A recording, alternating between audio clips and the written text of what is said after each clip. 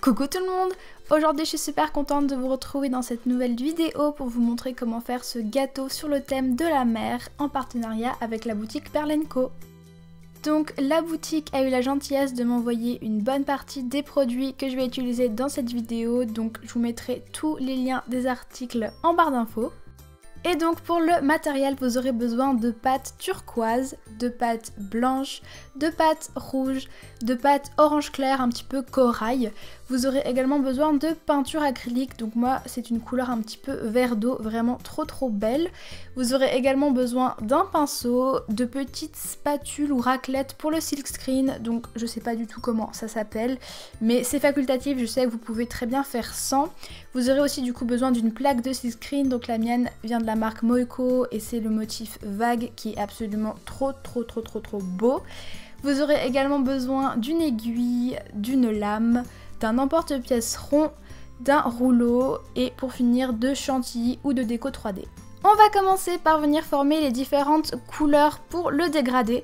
Donc ce que j'ai fait, c'est que j'ai choisi une quantité de base euh, de couleurs de pâte. Donc j'ai choisi le turquoise comme référence. Et ensuite je suis venue prendre trois quarts euh, de cette partie et je suis venue y ajouter un quart de blanc. Puis ensuite j'ai fait moitié-moitié et pour terminer j'y ai ajouté un quart de ma couleur de base et trois quarts de blanc. Et voilà, ensuite j'ai tout mélangé, tout roulé en boule et donc voilà ce qu'on obtient, euh, un joli dégradé. Et donc ensuite je suis venue aplatir chacune de mes couleurs. Donc moi je l'ai fait à la pasta machine parce que je préfère mais vous faites au rouleau si vous n'en avez pas. Et je suis ensuite venue en porte-piécer un rond à l'intérieur de ma plaque de pâte. Et donc je répète l'opération pour chacune de mes couleurs. Et donc voilà nos quatre ronds terminés. Maintenant j'ai oublié de le préciser dans le matériel, mais j'ai aussi décidé d'ajouter une couche d'écru pour faire une imitation sable un petit peu. Donc ce que j'ai fait c'est que j'ai pris de la pâte écrue, je suis venue l'aplatir un petit peu plus finement que les autres et je suis également venue en porte-piécer ma pâte. Et donc voilà, une fois que j'ai toutes mes couleurs et toutes mes couches, je suis venue les empiler, donc en commençant par la couche d'écru et ensuite j'y suis allée dans le sens du dégradé du plus foncé au plus clair. Et donc voilà ce que cela donne maintenant pour bien souder toutes les couches ensemble. Je suis venue rouler mon gâteau sur la tranche et comme vous allez le voir en fait ça rend vraiment le bord du gâteau plus lisse et donc c'est plus facile après d'appliquer la pâte et vous ne risquez pas d'avoir de bulles d'air. Et donc ensuite je suis venue faire le tour de mon gâteau, donc pour ça j'ai repris de la pâte turquoise, je suis venue en faire un cylindre et je l'ai ensuite aplati. Mais c'est là que j'ai fait une erreur en fait, euh, pour vous expliquer, j'aurais dû faire mon silk screen à cette étape là avant de poser euh, ma pâte sur le gâteau, voilà. Donc si vous ne voulez pas faire la même erreur que moi, faites votre silk screen maintenant, mais je vais quand même euh, vous expliquer mon erreur, etc. et vous montrer vraiment comment moi j'ai fait, même si c'est pas du tout parfait. Donc enfin bref, je viens appliquer euh, mon contour de gâteau sur mon gâteau tout simplement. Et donc je viens m'aider d'un petit outil en silicone pour euh, lisser les démarcations. Et pour être sûr que ce soit bien lisse, je suis également venue rouler mon gâteau sur la tranche. Et donc voilà ce que cela donne. Maintenant, on va venir mettre notre gâteau au réfrigérateur pendant 10 minutes à peu près pour durcir le tout et que ce soit plus facile de couper les parts par la suite. Et une fois les 10 minutes passées, je suis venue couper mon gâteau en 8, mais vous faites comme vous voulez.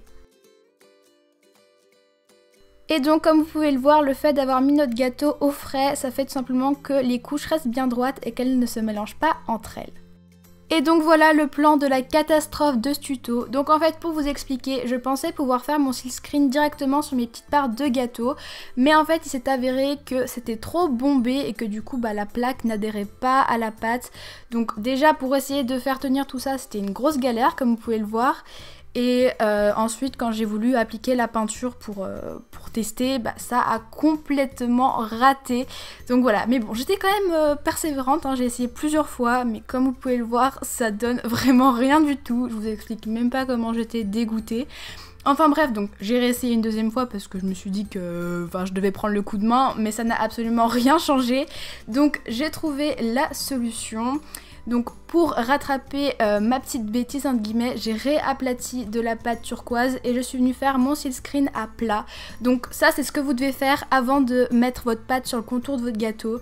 Euh, voilà, euh, ce sera beaucoup plus facile. Par contre, attendez bien que la pâture soit sèche avant de manier votre pâte, sinon vous allez tout ruiner votre motif.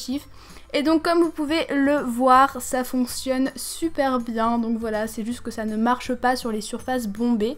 Et donc ensuite je suis venue découper euh, ma bande à la taille de mes parts de gâteau et je suis venue bah, les placer par-dessus la première couche que j'avais déjà faite. Donc voilà, ça fait juste que mon gâteau a deux couches au lieu d'une, mais bon c'est pas très grave et ça se voit pas trop. Enfin bref, après toutes ces péripéties, j'ai quand même réussi à obtenir le résultat que je voulais. Et donc maintenant, on passe à la suite, donc à la texture. Donc pour ça, je prends une aiguille et je viens faire des petits mouvements circulaires, voilà, pour arracher la pâte et donner cet effet en fait aéré au gâteau. Et voilà le résultat quand votre gâteau est tout texturé. Et maintenant on va faire les décorations euh, qui vont venir sur nos parts après la cuisson.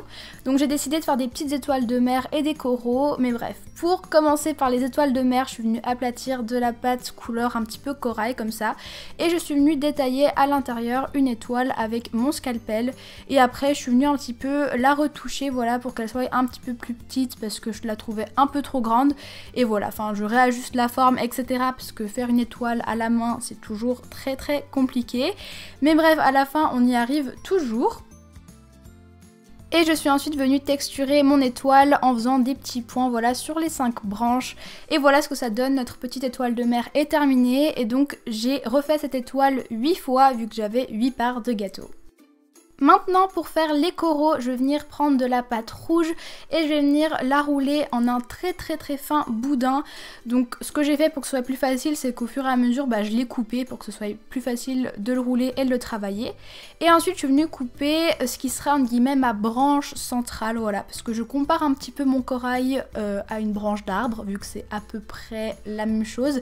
Et donc ensuite, bah, je viens découper plein d'autres petits morceaux euh, de pâte et je viens les ajouter, voilà, pour former comme une en fait. Et voilà, en fait, c'est déjà fini, c'est tout simple. Et pareil, je fais ça 8 fois. Et donc voilà le résultat quand tous nos petits éléments sont faits. Donc maintenant on passe à la cuisson 30 minutes à 110 degrés. Et donc voilà ce que ça donne une fois que tout est cuit. On va pouvoir passer à la chantilly. Donc moi j'utilise de la déco 3D mais n'importe quelle chantilly fera très très bien l'affaire. Et donc je viens l'appliquer sur mes petites parts de gâteau à l'aide d'une aiguille. Et voilà j'essaie vraiment de créer du mouvement pour pas que ça fasse un effet figé. Et ensuite bah, je viens y ajouter mes petits éléments. Donc mon étoile de mer et ma petite branche de corail. Et donc voilà ce que cela donne, donc vous pouvez laisser le tout comme ça ou alors comme moi ajouter quelques paillettes, voilà je trouvais ça joli. Et maintenant il ne vous reste plus qu'à attendre que cela sèche et le tuto est déjà terminé. Et donc voilà, c'est la fin de cette vidéo, j'espère vraiment qu'elle vous aura plu. Je remercie encore beaucoup la boutique Perlenco pour m'avoir apporté tout le matériel dont j'avais besoin.